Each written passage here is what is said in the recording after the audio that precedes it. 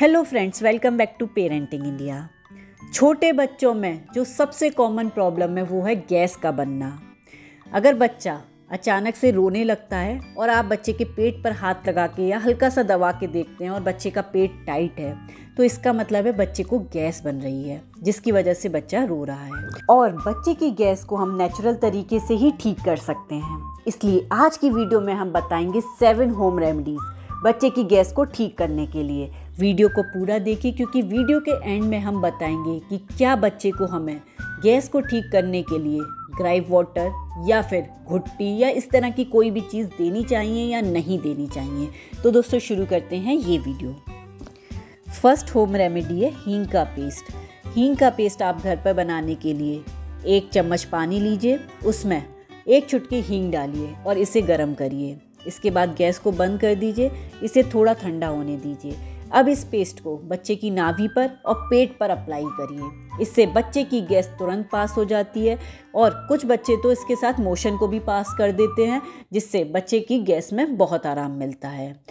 बस आपको इस बात का ध्यान रखना है कि ये ज़्यादा गर्म ना हो। आप इसे डेली भी बच्चे के अप्लाई कर सकते हैं, स्पेशली शाम के टाइम पर, क्योंकि शाम के टाइम पर बच्चे थोड़े क्रैंकी हो जाते हैं, उनके गैस बनने लगती है। इसलिए आप इसे शाम के टाइम पर डेली लगा दीजिए बच्चे के पेट पर तो बच्चा आराम से रात को सोएगा। नेक्स्ट है, अजवाइन का सेक। अजवाइन का सेक बनाने के लिए एक तवा लीजिए, इस पर दो बड़े चम्मच अजवाइन डालिए और इसे भुनने दीजिए। जब इसमें से धुआँ निकले तो एक कपड़े को इस धुएँ के ऊपर रख दीजिए और इस कपड़े पर उस धुएँ को आने दीजिए। इस कपड़े से बच्चे के पेट की सिकाई करिए। इससे भी बच्चे की गैस बहुत जल्दी पास हो जाती है। नेक्स्ट है जायफल। जायफल बच्चे के सर्दी, ज़ुकाम, खांसी में तो हेल्प करता ही है।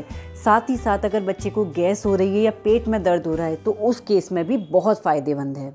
अगर बच्चा सिक्स मंथ से बड़ा है तो आप एक चम्मच पानी में जायफल को घिसकर पेस्ट बनाइए और बच्चे को 0.5 फाइव एम खिला दीजिए। और अगर बच्चा सिक्स मंथ से छोटा है तो उस केस में जायफल को कूट कर पाउडर बनाइए और एक चुटकी पाउडर लीजिए। उसमें थोड़ा सा देसी घी मिलाइए और बच्चे के पेट पर उसे लगा दीजिए नाभि के आसपास के एरिया में। इससे बच्चे की गैस बहुत जल्दी निकल जाती है। नेक्स्ट है बच्चे की मालिश। रेगुलर बेसिस पे तो बच्चे की मालिश हम करते ही हैं, पर अगर बच्चे को गैस बन रही है तो उस केस में थोड़ा सा कैस्टर ऑयल लीजिए, यानी अरंडी का तेल लीजिए। उसे बच्चे के पेट पर लगाइए और सर्कुलर मोशन में बच्चे की मालिश करिए। इससे बच्चे के गैस में बहुत ही जल्दी आराम मिलता है।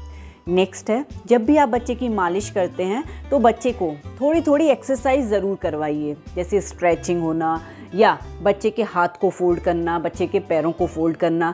इस तरह की एक्सरसाइज जब हम बच्चे को कराते हैं तो बच्चे की गैस कम बनती है, और अगर बनती भी है तो जल्दी पास हो जाती है अपने आप ही। नेक्स्ट है, बच्चे को टमी टाइम ज़रूर दीजिए।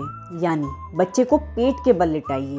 बच्चे को जब हम पेट के बल लिटाते हैं तो उससे बच्चे की गैस आराम से पास हो जाती है। इसलिए जब भी आपको लग रहा है कि बच्चे को गैस हो रही है तो उसे पेट के बल तो उसे पेट के बल लिटा दीजिए। इससे बच्चे की गैस पास हो जाएगी। नेक्स्ट है, आप बच्चे को सुहागा खिलाइए। सुहागा जिसे बोरेक्स कहा जाता है, इसे सिक्स मंथ से बड़े बच्चे को खिला सकते हैं। ये बच्चे की गैस को बहुत जल्दी ठीक कर देता है। लेकिन इसमें कुछ इम्प्योरिटीज़ मिली होती हैं। इसे हटाने के लिए आपको इसे बच्चे को प्रॉपर तरीके से खिलाना है। इसके लिए आप एक तवा लीजिए, उस पर कुछ पीस सुहागे के डाल दीजिए।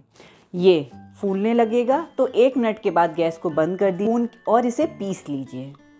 पीसने के बाद इसे छान लीजिए और फिर एक चुटकी सुहागा, एक चम्मच दूध में मिला के जो भी दूध बच्चा पीता है ब्रेस्ट मिल्क पीता है या फॉर्मूला मिल्क पीता है, उसमें मिला के बच्चे को खिला दीजिए। इससे बच्चे की गैस बहुत जल्दी ठीक हो जाएगी। पर रेगुलर आपको इसे बच्चे को नहीं देना है। जब बच्चे को बहुत ज़्यादा गैस बन रही है, उस केस में ही बच्चे को इसे खिलाइए। नेक्स्ट है सिक्स मंथ से छोटे बच्चे को। जब भी आप दूध पिलाते हैं तो उसके बाद बच्चे को डकार ज़रूर दिलवाइए। इसके लिए आप बच्चे को कंधे पर लीजिए और उसकी पीठ को हल्के हल्के हाथों से सहलाइए। इससे बच्चे की डकान निकल जाएगी, क्योंकि जब भी बच्चा दूध पीता है तो उसके संग कुछ हवा अंदर चली जाती है, जो बच्चे के पेट में गैस बना देती है। नेक्स्ट है अजवाइन का पानी। अजवाइन का पानी बनाने के लिए आपको चाहिए एक कप पानी। इसमें दो बड़े चम्मच अजवाइन के डाल दीजिए और इसे पाँच से सात मिनट तक बॉईल होने दीजिए। गैस को बंद कर दीजिए और इसे छान लीजिए। बच्चा अगर सिक्स मंथ से बड़ा है तो एक स्पून ये पानी अजवाइन का आपको उसे पिलाना है। और अगर एक साल से बड़ा है तो उस केस में दो स्पून अजवाइन का पानी आपको बच्चे को पिलाना है। इससे बच्चे को गैस में तुरंत आराम मिलेगा। अब बात करते हैं कि क्या बच्चे को ग्राइव वाटर जन्म घुट्टी या कोई मेडिसिन बच्चे को गैस के लिए देनी चाहिए या नहीं देनी चाहिए। तो कुछ पेरेंट्स बच्चे को मॉर्निंग में ही कोई मेडिसिन, जन्म घुट्टी या ग्राइव वाटर दे देते हैं, ताकि बच्चे को दिन भर गैस ना बने। बट ये एक प्रॉपर तरीका नहीं होता है। रेगुलर बेसिस पे आपको कोई भी मेडिसिन ग्राइव वाटर या जन्म घुट्टी बच्चे की गैस को ठीक करने के लिए नहीं देनी चाहिए।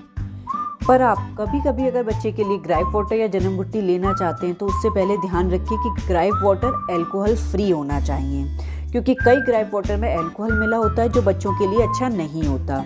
और जन्म घुट्टी में नेचुरल इंग्रेडिएंट्स होते हैं बट इसमें चीनी काफ़ी मात्रा में मिली होती है, जो एक साल से छोटे बच्चे के लिए अच्छी नहीं होती है। अगर वीडियो अच्छी लगी तो प्लीज़ लाइक करें शेयर करें और सब्सक्राइब करें। थैंक यू दोस्तों।